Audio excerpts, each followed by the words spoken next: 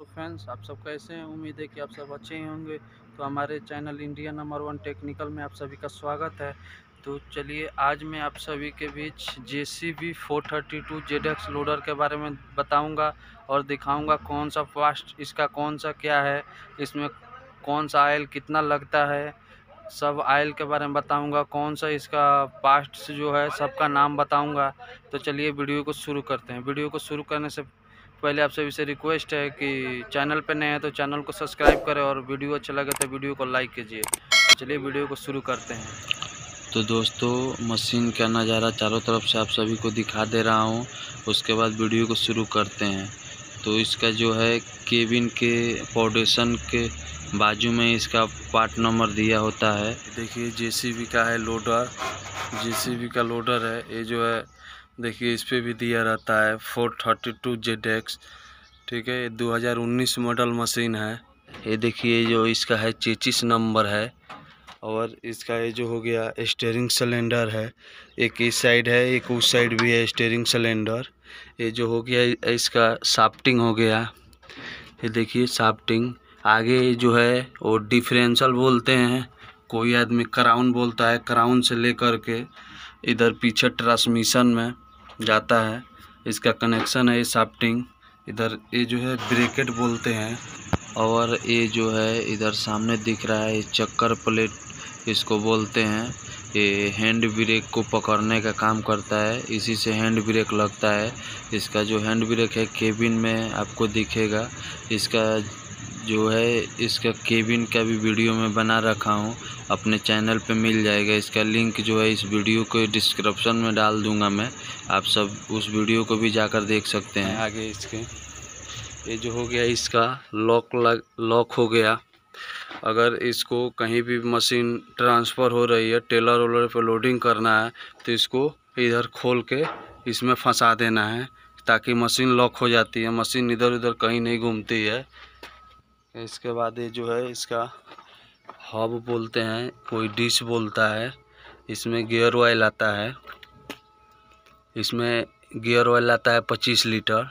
एक साइड उस साइड से भी डाल सकते हैं, इस साइड से भी डाल सकते हैं। अगर इस साइड से भी डालेंगे तो भी चला जाएगा उस साइड देखिए। दोनों का कनेक्शन रहता है। इस साइड से भी अगर डाल सकते हैं पच्चीस लीटर तो उस साइड भी जा सकता है। इसका ड्रेन करने का यहीं पे नीचे दिया हुआ है। क्राउन में ड्रेन कर सकते हैं, आयल निकाल सकते हैं। बूम सिलेंडर इधर हो गया, ठीक है? ये बूम सिलेंडर हो गया, और ये हो गया बॉकेट खोलने बंद करने के लिए सिलेंडर हो गया। ये जो इसका पूरा फीचर दिख रहा है बॉकेट वॉकेट ठीक है? देखिए, इसके बाद ये पीछे वाला हब हो गया। इसको कोई आदमी डिश भी बोलता है, कोई हब भी बोलता है, इसमें भी पच्चीस लीटर ही आयल आता है। और इसको ड्रेन करने के लिए यहाँ से भी ड्रेन कर सकते हैं, और पीछे इसमें भी दिया रहता है। देखिए, ये जो है, इसमें भी ड्रेन कर सकते हैं। तीनों का एक ही से कनेक्शन, एक साइड से ही तीनों में डाल सकते हैं।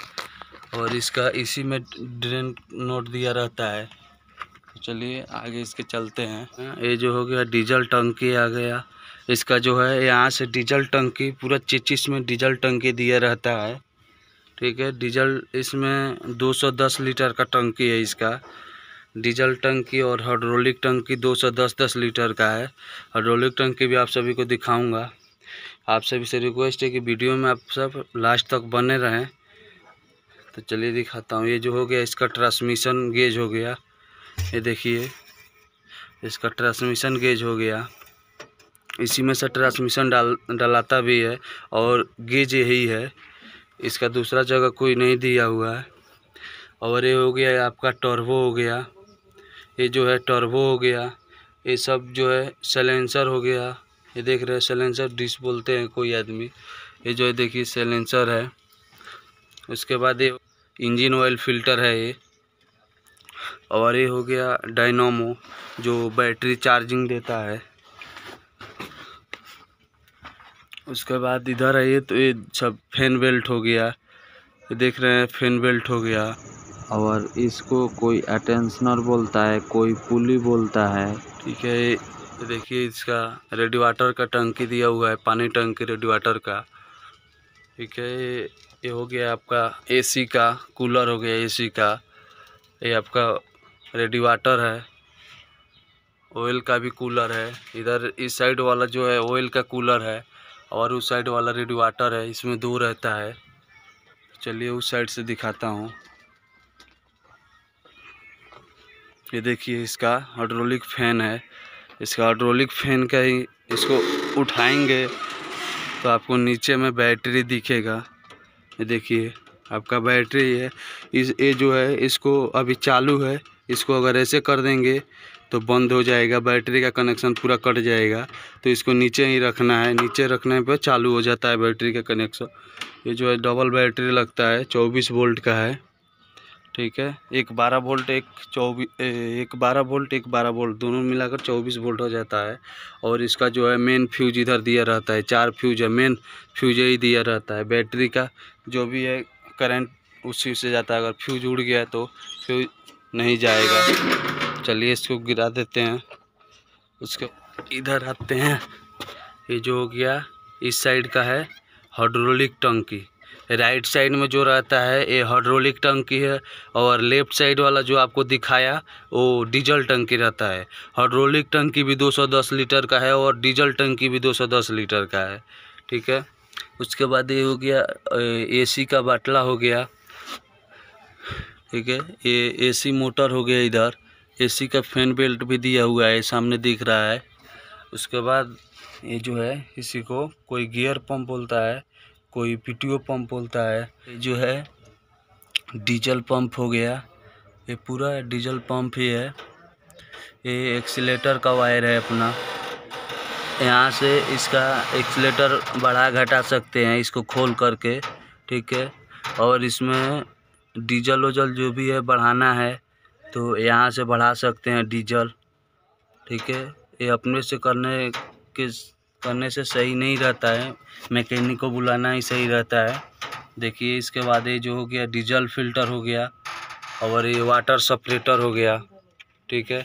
इसका एयर वर निकालने के लिए यहाँ से निकलता है एयर यहाँ से और यहाँ से दोनों से एयर निकलता है।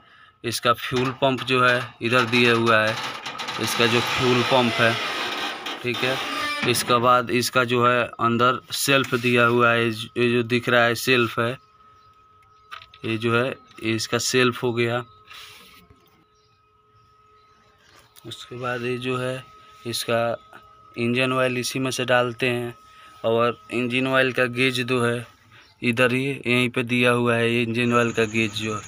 है यही इंजन ऑयल का गेज है और इसमें इंजन ऑयल टोटल पंद्रह लीटर लगता है, चौदह लीटर चैम्बर में और एक लीटर इंजन ऑयल फ़िल्टर में लगता है। उसके बाद हाइड्रोलिक तो इसी से डाला जाता है।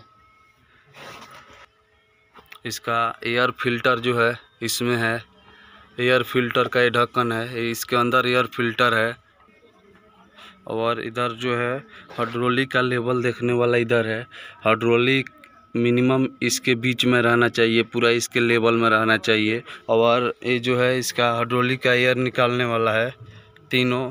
इसको खोलेंगे उसके बाद अंदर दबाने पे हाइड्रोलिक का एयर निकलता है। देखिए ये जो उस साइड बताया था, हाइड्रोलिक ये अपना स्टेयरिंग सिलेंडर है। ठीक है। और अपने ये जो ट्रांसमिशन दिखाया था, ये देखिए, ये ट्रांसमिशन हो गया। अंदर ये चक्कर प्लेट के पीछे ट्रांसमिशन ही है और ये यहाँ पर ट्रांसमिशन फ़िल्टर है।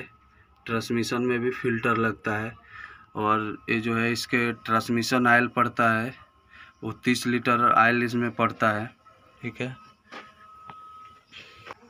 देखिए, उस साइड भी बताया था और इस साइड भी देखिए, ये दोनों है। ये दोनों में आयल इधर से भी डाल सकते हैं, उधर से भी डाल सकते हैं। एक में पच्चीस लीटर आता है और एक में पच्चीस लीटर आता है। दोनों का मिलाकर पचास लीटर गेयर ऑयल आता है। तो दोस्तों, हमारे ख्याल से आप सब देख लिए होंगे और जाने गए होंगे जी इसका कौन सा पास्ट क्या है। और कितना आयल लगता है, सबके बारे में आप सभी को जानकारी हो ही गया होगा। अगर आप सभी को कोई भी तकलीफ़ हो या दिक्कत हो तो आप हमसे कमेंट में पूछ सकते हैं। मैं बेझिझक आप सभी को रिप्लाई दूँगा। तो अगर वीडियो अच्छी लगे तो वीडियो को लाइक कीजिए और चैनल पर नए हैं तो चैनल को सब्सक्राइब कीजिए। तो चलिए आज के लिए बस इतना ही, मिलते हैं फिर से कोई अगले ब्लॉग वीडियो में। तो आज के लिए बस इतना ही बाय बाय